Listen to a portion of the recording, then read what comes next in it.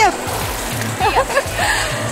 Здравствуйте! Вы только что увидели, как плавает настоящий профессиональный спортсмен. Правильную технику плавания. А сейчас я покажу вам, как это делаю я. Я плаваю собачкой.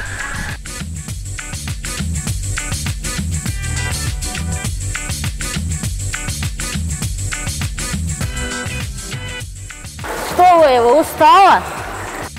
Нужно научиться правильной технике плавания. Когда голова находится над водой, нас защемляют шейные позвонки, и отсюда у нас возникают головные боли.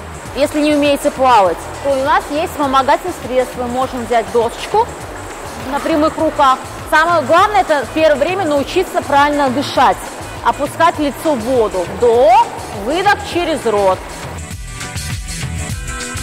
Нужно научиться плавать всеми четырьмя видами способов плавания. Это дельфин,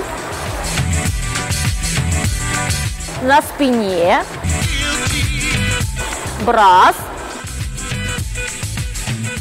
кроль на груди.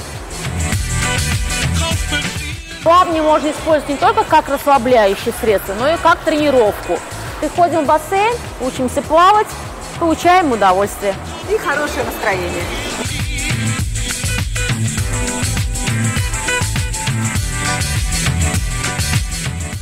Плавание расслабляет мышцы, поднимает тонус и настроение. А если все это еще и разбавить сауной, то кайф вам обеспечен.